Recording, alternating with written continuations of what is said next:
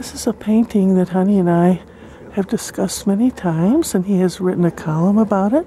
It's called The Tempest by Giorgione, and it can be interpreted a variety of ways, of course.